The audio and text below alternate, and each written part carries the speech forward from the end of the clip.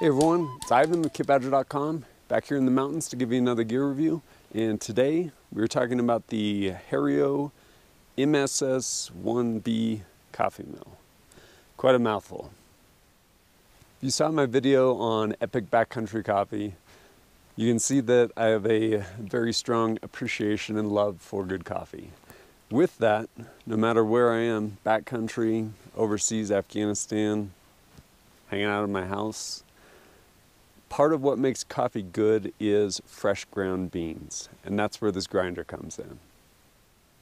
The design's pretty simple. Up top, you have your grinding arm, which actually comes off, making it really handy for travel.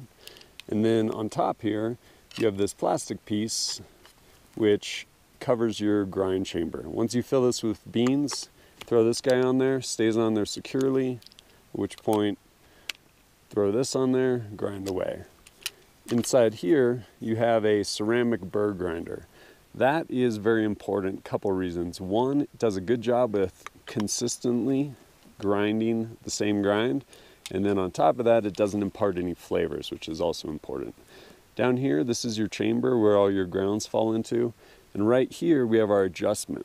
We can tighten this, this little like wing nut, turning it to the right, making the grind finer, or to the left, making it coarser, depending on what we're trying for, whether it's going to be something like an AeroPress where we want a finer grind, or a French press where we want a coarser grind.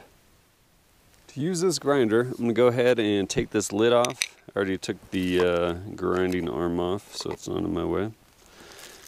Get my coffee beans and volume wise, probably about three or four tablespoons, I guess. I don't know, hard to tell. But I already measured it out, and essentially what I want to do is I want to pretty much fill up this grind chamber. And for me personally, I find that makes a really good cup of coffee. If you just want some coffee flavored water, then you could use lesser amount, I guess. But for me, for a good cup of coffee. I find filling this uh, chamber right here does a really good job. And then at that point, throw this arm on there, start grinding. And once you finally finish grinding our coffee, usually takes about two minutes. I have noticed that depending on your coffee beans, as far as dark roast versus a light roast, I find the darker roast actually takes a little bit longer to grind I think probably because there's more oil on the beans. But ultimately, we have our nice finely ground coffee, consistently ground. And we put in whatever type of coffee maker we're going to use. In this case, my AeroPress. And we're good to go. Continue on with making our coffee.